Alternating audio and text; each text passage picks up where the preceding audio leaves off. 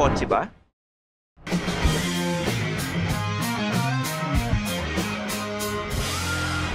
Feel kotse na. Pagdating sa mga sasakyan, crossovers ngayon ang namamayagpag. Eh kasi naman, mahirap tanggihan yung kombinasyon ng sedan handling at SUV ride height at interior space. Parang ako lang yan, pinagsamang sex appeal and brains, kaya irresistible. Yung kokontra dyan, tutubuan ng pimple sa ngalangala. Akalain yung may sedan models ang burado na ngayon sa mundo dahil nag-shift na ang focus ng car makers sa paggawa ng crossovers. Yan din daw kasi ang nakita ng preference ng market.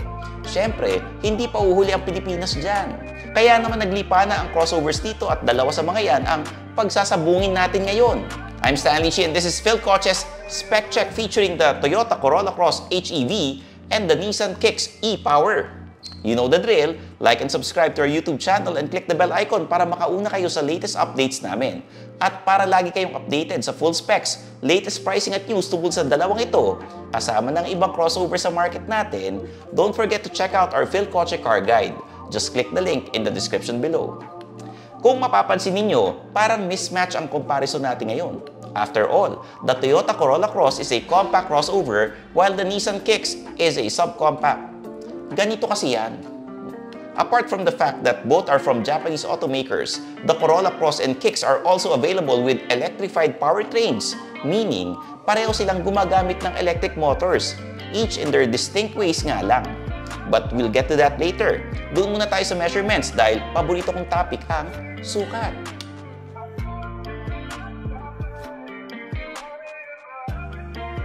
Nagre-range between 4,455 to 4,460 mm ang length ng Corolla Cross. Samahan pa ng 1,825 mm in width and 1,620 mm in height at wheelbase na 2,640 mm.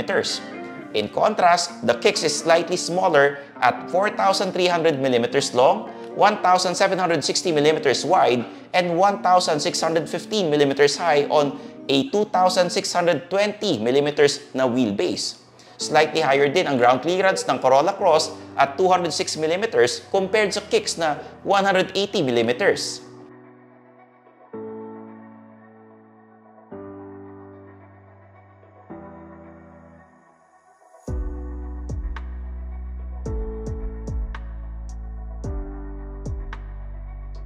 Sa exterior ng Corolla Cross kasama ang bi-beam LED headlamps with daytime running lights at front fog lamps.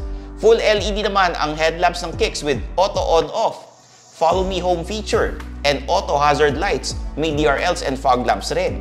Standard sa kanila, pareho ang gloss black trim on the grille, power folding side mirrors with turn signals, body cladding all around, and rear LED lamps. Rain sensing ang wipers ng Corolla Cross habang intermittent naman ang sa Kicks. Kapwa sila available with two-tone body color pero ang Kicks may roof rails na kasama. The Corolla Cross stands on 18-inch alloy wheels while the Kicks uses 17-inch alloys.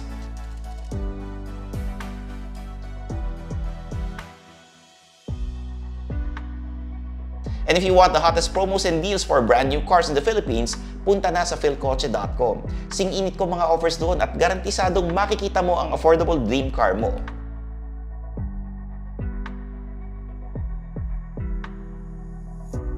Regarding the interior, kapwa may space for up to 5 occupants sa Corolla Cross at Kicks, coming in either fabric or leather material for the Kicks habang ang Corolla Cross HEV ay naka-leather.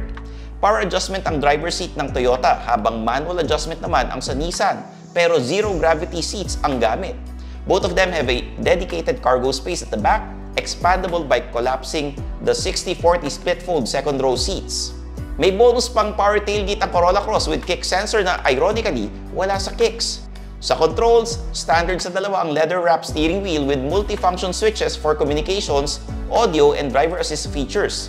Pareho din silang 7 inches ang instrument cluster display, pero fully digital ang gamit ng Corolla Cross as opposed to a semi-digital one on the kicks accompanied by an analog speedometer.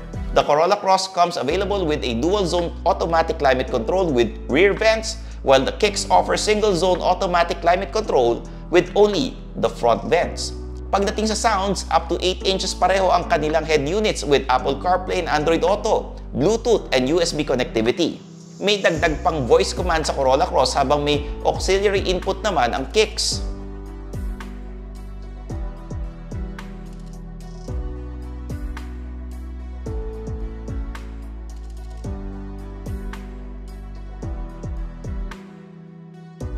Safe ba naman sakyan ang dalawang ito? Oo naman. On the Corolla Cross, you get 5 seatbelts, 7 airbags, anti-lock brakes, stability control, hill start assist, blind spot monitor, rear cross traffic alert, and reverse camera accompanied by front and rear parking sensors. Bukod pa dyan ang Toyota Safety Sense na may dalang pre-collision system, auto high beams, lane tracing assist, lane departure alert, at dynamic cruise control. Siyempre, hindi pa tatalo ang kicks. Standard on this model are 6 airbags, vehicle dynamic control, ABS with electronic brake force distribution and brake assist, hill start assist, and rear parking sensors. But wait, there's more. Dagdag pa dyan ang Nissan Intelligent Mobility. May bitbit na Intelligent Around View Monitor with Moving Object Detection, Intelligent Forward Collision Warning, Intelligent Emergency Braking, Driver Attention Alert. Exclusive naman sa Kicks ang e-pedal step na pwedeng i-accelerate at i-stop ang sasakyan just by using a single pedal.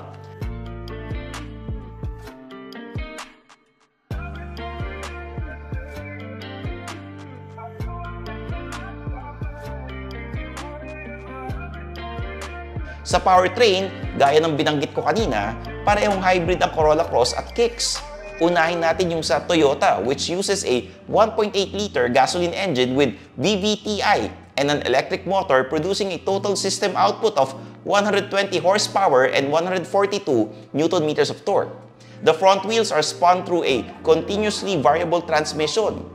Meanwhile, the Kicks runs on Nissan's e-Power hybrid system comprising a 1.2-liter 3-cylinder gasoline engine and a 350-volt electric motor capable of 134 horsepower and 280 newton meters of torque.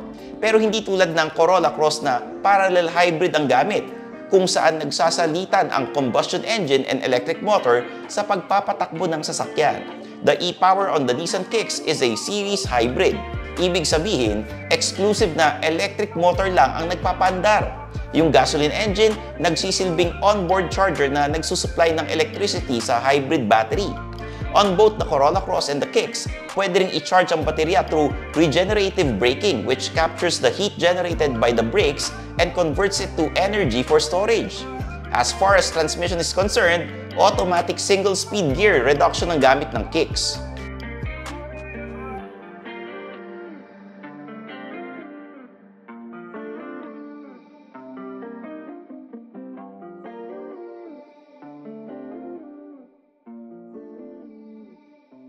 Kung presyong pag-uusapan, nag-range from 1,665,000 pesos ang Corolla Cross for the VHEV.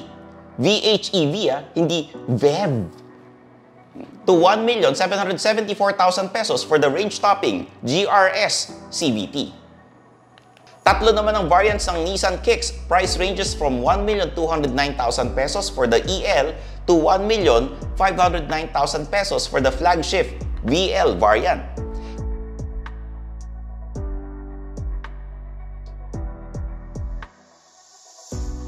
Kung pagpipilian ninyo tong dalawang crossovers na ito, ang usual advice ko is i-test drive na yan, pareho. Totale, naboso este, nasilip nyo na ang specs nila dito sa video namin. Again, I'm your host, Stanley Chi, ang inyong senpai ng turbuhan, and this is the spec check between the Toyota Corolla Cross and the Nissan Kicks. So, i-follow nyo ako sa mga social media accounts ko at makinig kayo sa aking podcast. Kita-kits tayo sa next video, dito lang sa Philcoche. Bye-bye! Thanks for watching. For the latest news, reviews, and anything you want to know about cars and car ownership, visit philcoche.com. Follow us on YouTube, Facebook, Instagram, and Spotify para hindi ka huli sa usapan. Tandaan, kotse ba? Philcoche na!